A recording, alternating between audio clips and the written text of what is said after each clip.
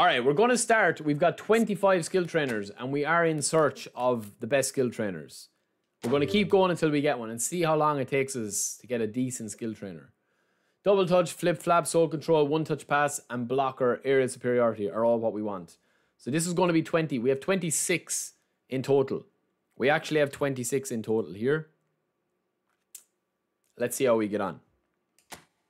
All right, first one up. Man marking. I haven't got man marking in ages, actually. That's actually not bad. We'll keep that. We have a load of players bought here. We're going to be overriding a few of them. We keep going until we get a beastly one. Not Rabona getting the bin.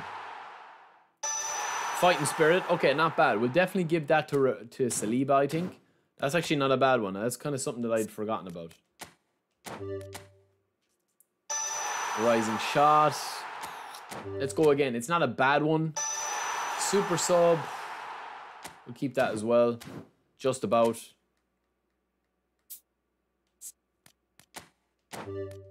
Twenty-one left. Man marking again. Persistently chase down an opponent. We'll leave that for the time being, even though I don't rate man marking as high as some people. Alright, sliding tackle, get in the bin. Track back, getting the bin. We need it, but okay, acrobatic clearance. Okay, we'll do that. We'll do that because we need to give that to Saliba too. Hickey, outside curl. No, we're getting rid of outside curl. We've too many outside curls. Pinpoint crossing, we're getting rid of that. Flip flap. Okay, we'll get we'll keep that. We'll keep that. We're overriding a few of these though. Heading, we'll keep that. Acrobatic clearance. Alright, let's double dip, man. Ooh, that's not bad. Aerial superiority and acrobatic clearance. Maybe double dip is the way to go, you know. Fighting spirit. Rabona getting the bin. Chip shot control getting the bin. Gamesmanship getting the bin. Sombrero getting the bin.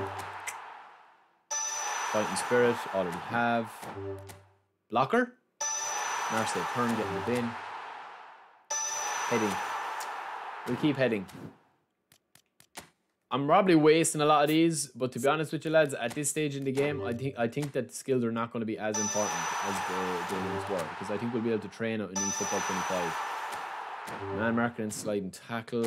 I'll get rid of it. I'll just gamble. We want blocker, lads. We have a 26 skill tokens and no blocker. Man marking a long range shoot. Maybe for a DMF that will work. Super sub. Scotch move. Watch me get one touch pass. Heading. One touch. Track back. Track back heading and super sub. Lads, I just honestly feel, man, with the with the with the skills, it's too random. It's just too random.